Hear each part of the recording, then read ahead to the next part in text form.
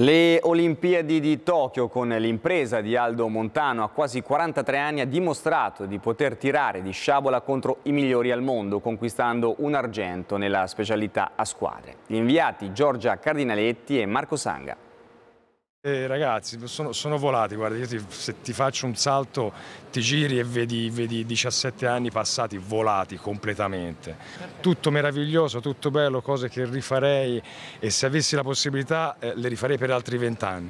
Difficile dire addio quando l'inizio sembra ieri. Aldo Montano, Atene 2004, oro nella sciabola, 5 Olimpiadi dopo, da riserva titolare trascina gli azzurri in fine. Questo, questo rinvio di un anno alla mia età un po' me, me, me la, mi è arrivata dietro la testa la mazzata. Un po' di paura. Un po', un po di paura c'è stata.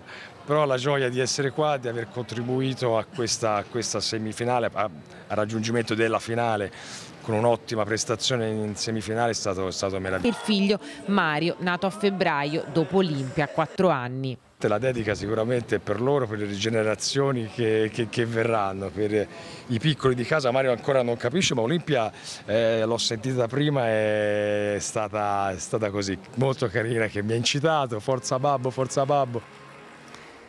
E il medagliere azzurro cresce anche grazie a due bronzi dal